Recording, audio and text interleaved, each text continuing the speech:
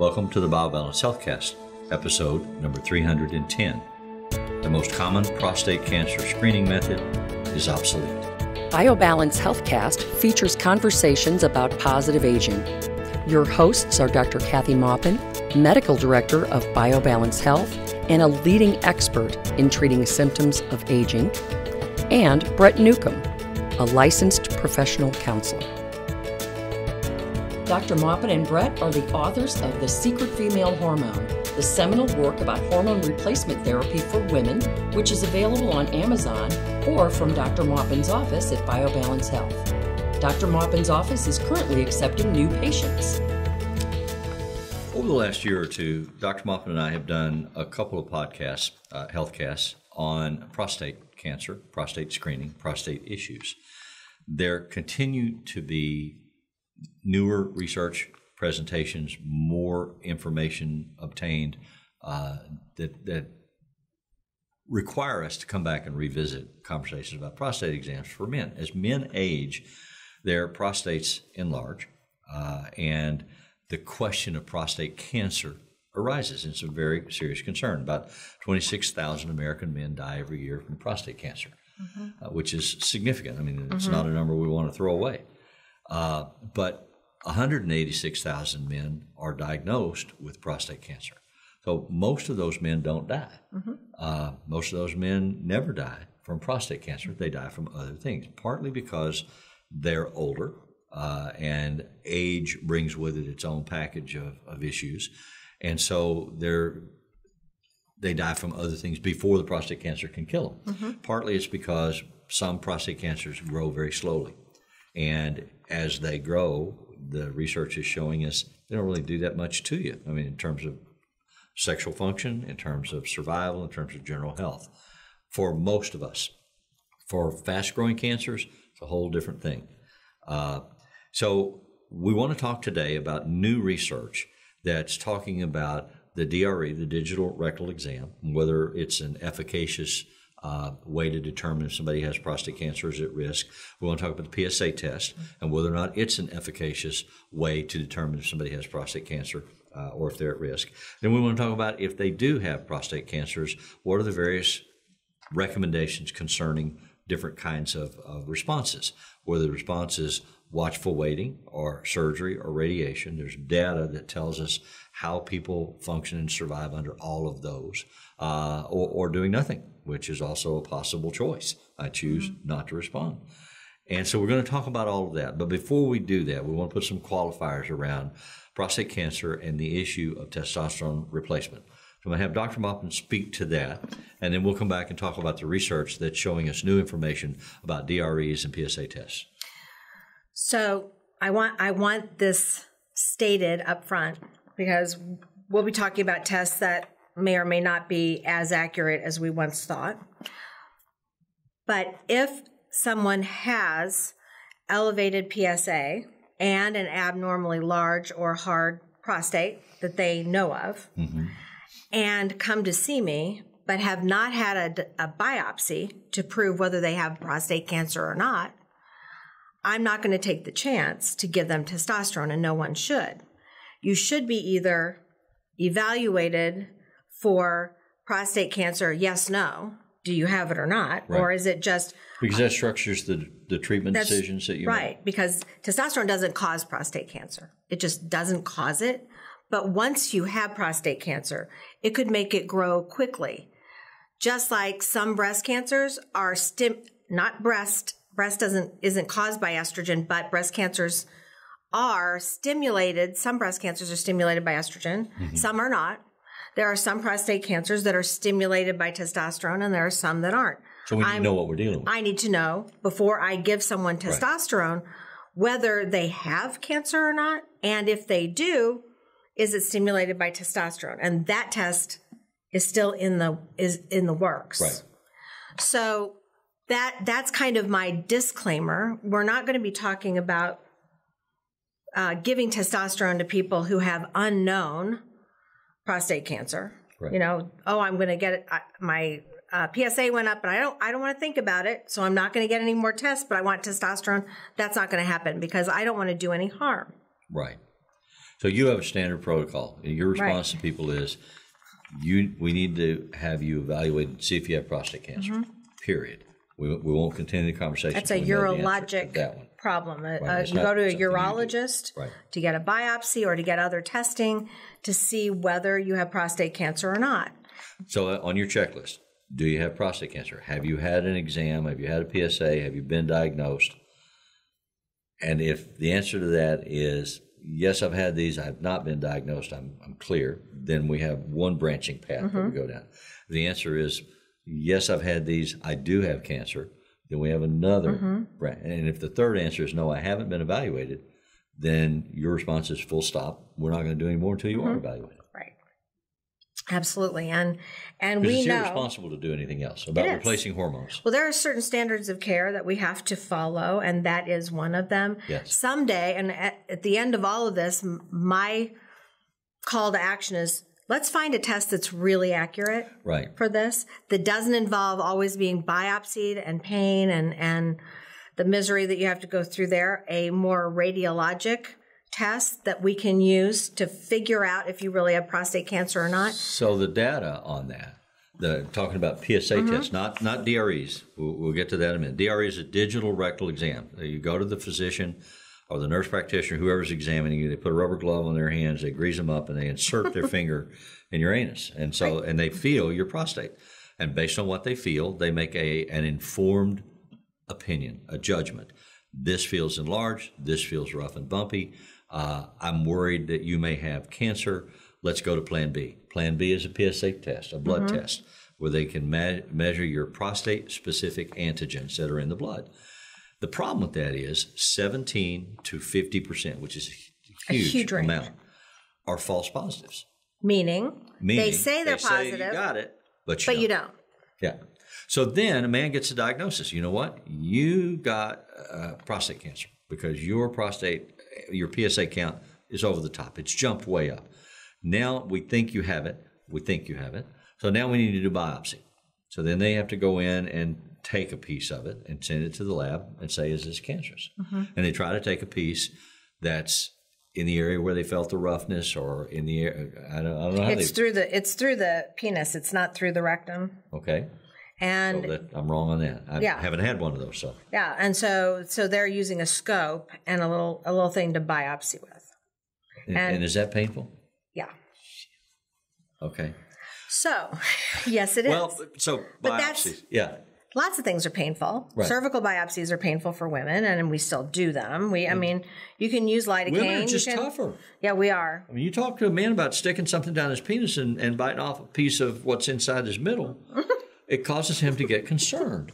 I know. I know. I mean, we have And DREs, digital rectal exams. Over a third of the men out there say, I don't get them because it's uncomfortable. It's physically uncomfortable. Tough. I won't make the we've been getting vaginal. You when women go, I don't know being- if everybody now knows you're being this. sexist. Yes, I I'm am. trying to talk about sensitive men with sensitive issues. I, I understand that and sensitive you're just women. discounting that. Women, We doesn't matter birth. how sensitive we are.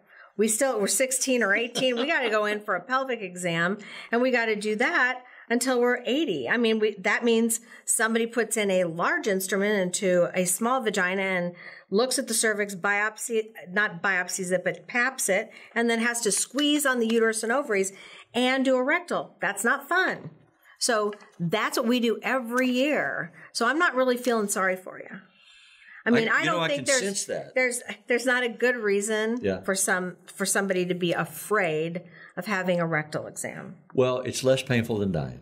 It is. So if it's a serious risk that you may die, and there's question about that with prostate cancer. Mm-hmm. There are men who die from it, and for those men and their families, it's a horrible, horrible thing. And and the treatments for trying to survive it are Are awfully- good, not good. really and, and the- difficult. the impact of the radiation or the surgery can cause so many additional complications. Even if you're going to die from prostate cancer, I personally would say you need to talk to your doctor about the side effects of the treatments because if being incontinent, if not being able to, to function sexually, if uh, being in pain, are concerns that you have. It also can cause uh, bowel.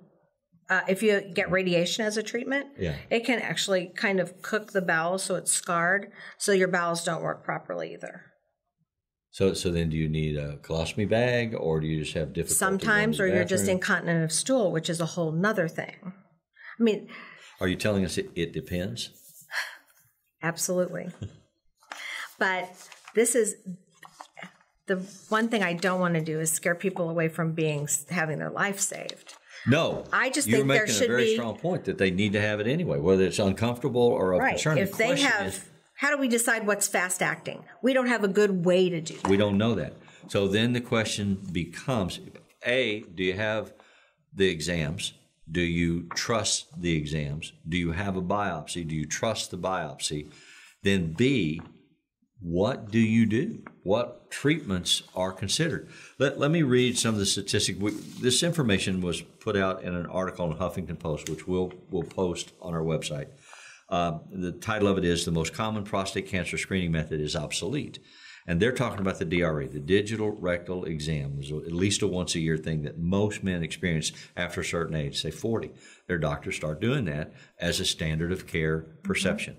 What the research is now saying is that isn't necessarily standard of care because it doesn't necessarily tell us anything, and mm-hmm. because a lot of men avoid it because they're not comfortable with it. Mm-hmm. So then the next step, standard of care, is a PSA test. So you get a blood test, and they do a PSA screening, and they say, "Oh, here's what's going on with you," uh, but as much as fifty percent of those are inaccurate. So then you don't know if you have it or not. So you have to mm-hmm. think about maybe a biopsy. And it hasn't been until recently that doctors have been saying, as loudly as they have been, at least to my knowledge, that as men age, their PSA count goes up anyway, and their prostate gets enlarged. Mm-hmm. So those are standards of age development and not indicators of cancer. Mm-hmm. So the question about prostate is a legitimate question because it's a real cancer and you can die. But how do you know? And and that's what's fascinating. Let, let me read you some statistics that come from this article, and we'll we'll post the article itself. It was from a study at Wake Forest. study at Wake Forest. Uh, 38,000 men were studied Right for, and it's a 10 year study. here's here's what I want. Okay.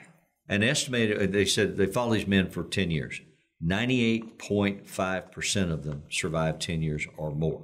So now they're saying, well, maybe the critical window is 10 to 15 years. And so they're waiting for that period to pass to see if the data drops significantly. But the life expectancy after cancer diagnosis for 98.5% of the men that have been diagnosed is they're going to stay alive With or without treatment. with or without treatment, with or without treatment. So they go on to say uh, there's almost a 100% five year survival rate, a 98% 10 year survival rate, and a 95% 15 year survival rate. Uh, while some men will die of prostate cancer, there are documented risks and harms that show widespread regular prostate cancer screening may not be the best policy f- for most men. An estimated 5 in 1,000 men will die of prostate cancer without getting screening. So if you just don't get a screening, there's a risk of, of 5 in a 1,000 mm-hmm. that you'll die. If you do get a screening, if you do, if you're good about it, if your wife harasses you, your doctor mm-hmm. harasses you, we got to know, get in there, don't be a sissy, get your mm-hmm. exam. Four in a thousand will die if they got screenings. Not so five in a thousand die without screening, four in a thousand die with screening. Doesn't seem to make It a good case for screening. Yes. But, and shoot, you know, So, that's so they go on to say way less than 1%. This means that screening will at most save the life of one man in a thousand, while causing false positives in up to 120 men in a thousand. About 110 men in a thousand will go on to be diagnosed with prostate cancer, and of these, about 90% will choose treatment that could cause serious cardiovascular events, deep venous thrombosis, urinary incontinence, erectile dysfunction, and death. So you can die of the treatment, or you can be made so freaking miserable from the treatment that you might, given full information and informed consent concepts, choose not to get the treatment. So mm-hmm. it's a personal decision. You and your family need, and, and your physician, mm-hmm. all together, need to make the decision what are you going to do about prostate cancer in your life? Are you going to get tested to see if you have it or if you're at risk for it? If you get the test, are you going to believe that they're valid, that they're accurate. If you believe that they're valid and accurate, then you have to make treatment choices. If you get a choice of radiation, if you get a choice, you can burn your bowels and have a problem. And your bladder and your bladder, else. and, and so your system won't work. Uh, for many, not all. Mm-hmm. Or you can have surgery. The side effects of surgery are also pretty devastating for m- many men. I wouldn't say most, but many. Impotence and incontinence. Uh, Impotence, incontinence, and so your sex life is over, and you're going to be wetting yourself all the time because you don't have any control. When you cough, when you sneeze, you're going to have leakage issues constantly. There are factors of miserableness that you need to anticipate, but always remembering that dying of cancer is miserable. So, mm-hmm. but at, I'm 70 years old, 69. If I got a cancer diagnosis, according to these statistics, I'm going to live to be 79. Mm-hmm. And there's a 100% chance that I'll live five years, a 98% chance that I'll live 10 years, uh, a 95% chance that I'll live 15 years with cancer. So in the next 15 years, the odds are something else is going to kill me. So mm-hmm. I would really have to have a conversation with my wife and my physician about the quality of life as I age, as I deteriorate, and as I face death. That's what we want you to know. Th- Don't panic. Don't avoid. Don't bury your head in the sand in ignorance. Don't panic and rush into a treatment. Don't panic in, in response to a diagnosis. The data on this topic is so unrefined, so imprecise, so unknown still that you really have to pay your money and take your choice. You got to live with the consequences one way or the other. It's a life, quality of life threatening decision. Once most, once cancer is diagnosed, and if you choose not to have treatment, Right. doesn't mean you just go, oh, I'm not going to the doctor anymore. Right. It's an obs- Monitoring You still have to monitor because once you have cancer, it is important whether your prostate gets larger and larger. It is important if your PSA goes up higher and higher, and there may be more biopsies in your future. But if you do research on it, what, what the research tells you is when you're younger, it's more significant because they will mm-hmm. push you harder to do some of the treatments. Because it's it grows faster when you're younger. Absolutely. Everything grows. Every cancer seems to grow faster when we're younger. But I've reached the age, and to my Lucky you. to my sadness, uh, in one respect, I reached the age where they say, you know, you're on the bubble. Might help you, might not. We're not mm-hmm. sure we would recommend that you do anything mm-hmm. at your age. But if I was 45 or 55 or mm-hmm. 60 or even 65, mm-hmm. they would still say you really need to think hard about what you want to do here because the alternative choices are serious and flawed in almost every domain. But it's reality and you have to face it. So when you hit a certain age and they start to say, wait, you know what? You're going to die from something else anyway. I wouldn't worry about it. Just Some some of us you know, live to 100. Clean up your business. Yeah.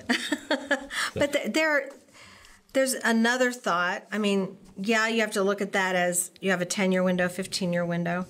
But I really think that in the next 10 years, there will be a test, whether it be a radiologic test, not a test that is invasive and painful, but we we have begun in gynecology to use ultrasounds Right. very commonly to decide whether we're going to do surgery on somebody, whether it's whether they have uterine cancer, whether they have ovarian cancer, whether and it, it isn't radiation, it's just ultrasound, and we can get a good picture of that. The the problem with doing that ultrasound for men is that for women we have a vagina, we can look through the vagina and do all that. Right. Well, to get into You put uh, the probe there the, to you see put a probe you put a long probe a phallic looking probe into the vagina and look around for the best picture. For men you have to put that probe up the rectum. Right. they don't like that obviously. It's not fun. We don't really like getting the uh, ultrasound either. It's a little bit it's not painful it's just uncomfortable. But it's a way of of evaluating the prostate and seeing if there's any abnormalities that could be a cancer growing. Right. that's they're going to come up with something more more like a 3d ultrasound which we do on babies so there's there has So to be a way to do that it's improving but there'll be ways to evaluate the prostate more effectively as we go we just haven't done that because we thought the the rectal exam plus a PSA was adequate. Well, now we know it's not. Well, and there's a new blood test that they're promoting that they're mm-hmm. doing research on, and it's out and it's available, and they say it is a better thing. It gives a more qualitative result than the traditional PSA blood test. it's still not definitive. It's still not definitive. It just says, "Here's your the- risk." But your point is the technology is changing. Mm-hmm. Yeah, it puts you in a risk category. You're at moderate risk, you're at a medium risk, you're at a high risk. Doesn't So- tell you how fast it's going to grow or Well, but that tells you then that you need to evaluate the risk Mm-hmm. to determine if you need a biopsy. so that yeah. So the I mean, next so- step is So the question then is, is continue to be involved in the uh, in a participatory way with the evaluation of what kind of testing and care you're going to receive. Don't bury your head in the sand. and don't just say, "Oh yeah, then I'm getting a prostatectomy. It'll be great." Right. I mean, honestly, a hysterectomy is not devastating except for like your ovaries being removed. But taking a uterus out, which is kind of a similar procedure as a prostatectomy, right. is you know the uterus really doesn't. It's not so tightly involved with your colon and your bladder that it would it would be damaging. But but a prostate is. It's surrounding the urethra and The microsurgery that's involved in that is Mm-hmm. so susceptible to doing damage. the nerves for the for erections. are Nerve damage, tissue damage, bladder damage. There are a lot of ways it can So it's not an it's not really equivalent in terms of risk or yeah, let's just take it out. I mean, Yeah. you can't really make that decision that lightly. You have to really think about what the risks are, what the benefits are. It's like one of my uh, patients had was told she needed chemo for breast cancer and she looked at and she said to her doctor, "So, how much does that improve the real question? How much does that improve my my um, survival?" And she said 0.1 percent. So then why would you spend all that money and go through all that agony and fret about all those issues? But what's my chance of what's my? She gave her another number. I don't have the not another number in my head, but of what the chances are of getting another cancer because she had chemotherapy for this, and it was really high. So ha- that's an easy that's an easy decision. Right, right. But in, in in this case, when you look at the numbers, it becomes a little easier for most of us, or most men, uh, us as a like a couple, to make a decision about that. And you should make it with your your uh, partner because it involves them as well. Right. So we will continue to update you as we uh, acquire uh, new information regarding prostate, prostate cancer, prostate exams, because as Kathy said, it is a, a, a significant issue about which the technology and knowledge base is changing almost on a daily basis. So you just want us to, to be aware. You want to not panic, consider your options, discuss it with your partner, and discuss it with your physician, but educate yourself about it. Mm-hmm. So we'll talk to you about it again. Mm-hmm. Email your questions or comments to podcast at biobalancehealth.com. You can find the BioBalance Healthcast on iTunes and on YouTube. For more information about bioidentical hormone pellet therapy and other reverse aging solutions, visit biobalancehealth.com or call 314 993 0963. You can find Dr. Maupin on Twitter at Dr. Kathy Maupin and on Facebook at facebook.com slash biobalancehealth. Find Brett Newcomb at brettnewcomb.com.